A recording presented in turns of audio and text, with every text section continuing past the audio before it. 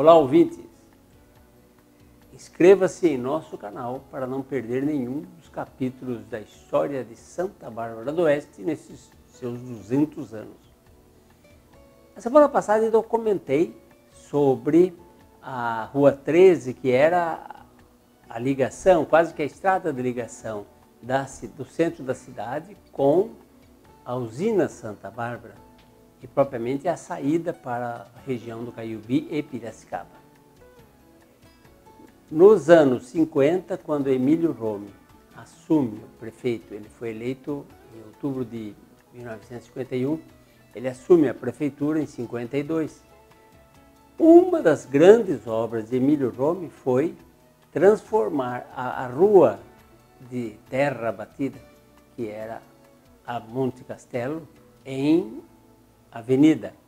Nós já tínhamos na avenida, inaugurado em maio de 41, a ETA 1. Então já era, já tinha uma certa ocupação da avenida da Monte Castelo, mas era um transtorno, o, o, trânsito da Rua 13, de caminhões, tudo tinha passado para a Avenida Monte Castelo. E Emílio Rome resolve, de, de, de, coisas, transformar a avenida de, começa, inclusive, o seu asfaltamento. O asfaltamento foi depois para o prefeito Benedito da Costa Machado, né, o Didi Machado, que completa. E uma das obras também que Emílio Rome consegue é a construção do, do, do ginásio Santa Bárbara, né, que ele iniciou suas atividades em 47 lá no prédio do asilo São Vicente de Paulo. E depois o prefeito Emílio Rome tinha é, conseguido um, uma, promessa do governador Lucas Nogueira Garcês de que construiria um prédio próprio.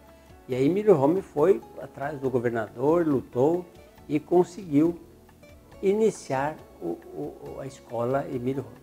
Comentei no, no, último programa sobre a Rua 13, que era a ligação é, praticamente da cidade com a usina Santa Bárbara, fazia um caminho reto.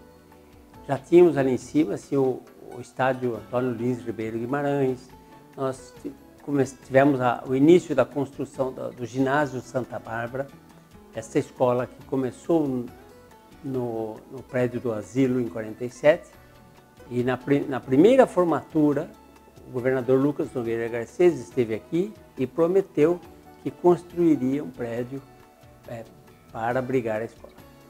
Aí no governo do Emílio Rome conseguem da usina Santa Bárbara a doação do terreno ali em cima. Já tinham doado o terreno para o Campo do União e aí ao lado doou para fazer o ginásio Santa Bárbara. Depois da saída de Emílio Rome da prefeitura, o, ginásio foi inaugurado né, em 1 de maio de 1958 e aí recebe o nome de Escola Estadual Comendador Emílio Rome. Né? E, mas voltamos um pouquinho à Avenida Monte Castelo, a antiga rua Monte Castelo, que era de terra batida. Nessa avenida passou a ser então a parte principal da ligação com a, a ligação de Caiubi, Tupi, Piracicaba. E a avenida começou a ser asfaltada. Emílio Rome deixa o governo em 55, né? Assume o Benedito Costa Machado, o Didi Machado, e ele que completa.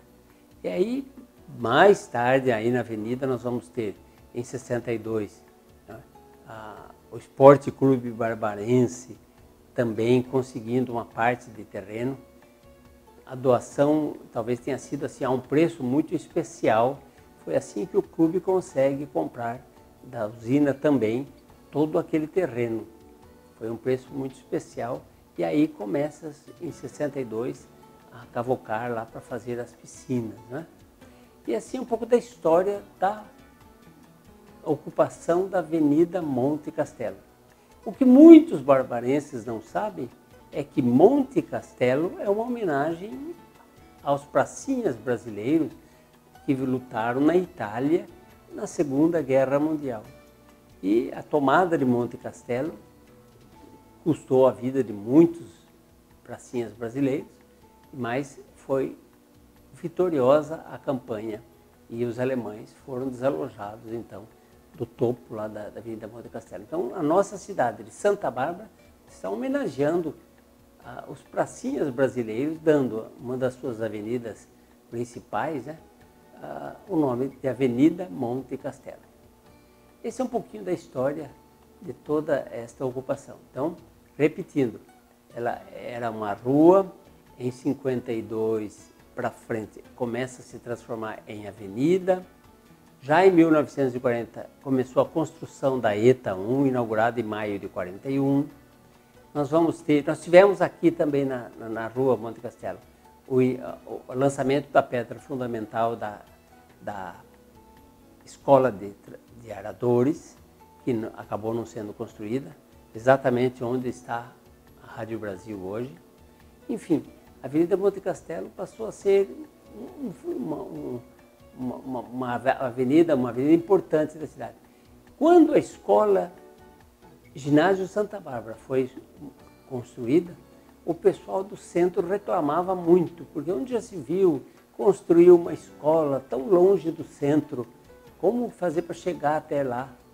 Então, ver como a cidade cresceu, como isso hoje não é mais tão importante. Enfim, essa é um pouco da história de nossa Santa Bárbara do Oeste. Obrigado a todos e até o próximo programa.